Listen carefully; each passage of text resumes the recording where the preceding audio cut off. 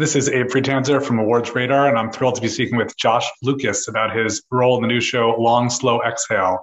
How are you today, Josh? I'm great, Abe. Thanks for having me. Of course. What attracted you to this show and this role?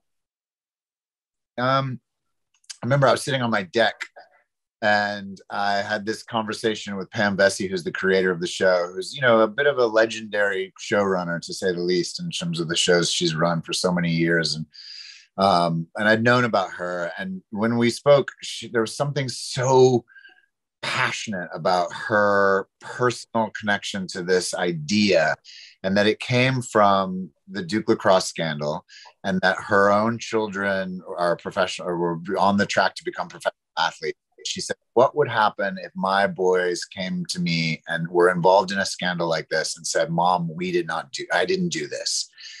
And she thought, you know, she she mused on it and it really struck her. And then she watched how that scandal, you know, rolled out over the period of time and the amount of damage it did to people's lives. You were directly involved, indirectly involved, and someone like the athletic director of that program who was immediately fired.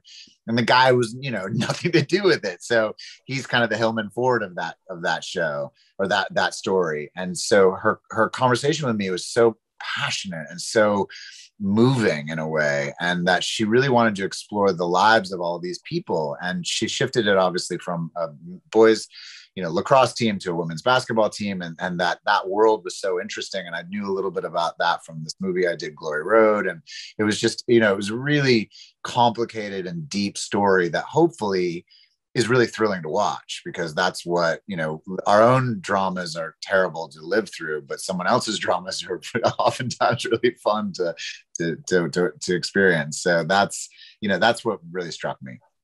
Yeah that makes a lot of sense. And i think when we first see Hillman in the pilot he he feels a little bit like a fixer that you know that in his role as athletic director that's sort of what he's what he's doing. Do you see him that way you know, that's great. I hadn't actually thought it. You're the first person to say that. I always saw him as a politician. You know, like, and he actually maybe he's not even really a politician. Maybe he's more like Steve Bannon. You know what I mean? Which is a fixer, right? He's like he's the guy who is behind the scenes pulling the, you know, pulling the levers in a way, or or you know, the marionette pulling the strings of, of the story and as I did research on athletic directors, that's what these guys are. You know, they're the general managers of a, of a football or soccer or basketball team you never hear about, but they're the ones really making the, tr- the trades and, you know, firing coaches and changing players. And, you know, it's really interesting position that someone like Hillman Ford is in, particularly because they're kind of behind the scenes and yet you know, Hillman's raising money to build a new stadium and all the different stuff that he's doing. He's a he's a politician. He's a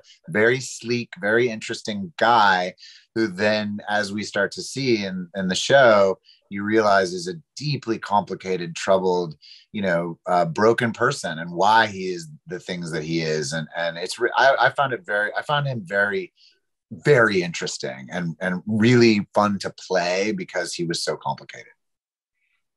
I agree. I agree. And this show, of course, is a big sort of hybrid of genres in that it's this sports drama, scandal, and also like a mystery thriller. Do you think you've seen anything like that before, or is this very unique tone wise? Well, you say it. I mean, it's you know, it's got scandal inside of it, right? But it's also got you know, it's a basketball story, and yet it's a coaching story, and yet it's a you know, it, it deals with some of the stuff that I know um, Amanda Peet's show about college, you know, inner workings of college uh, uh, academics are right? And so in this way that's what's so interesting. And that's what i found is is you know it's all based in truth right?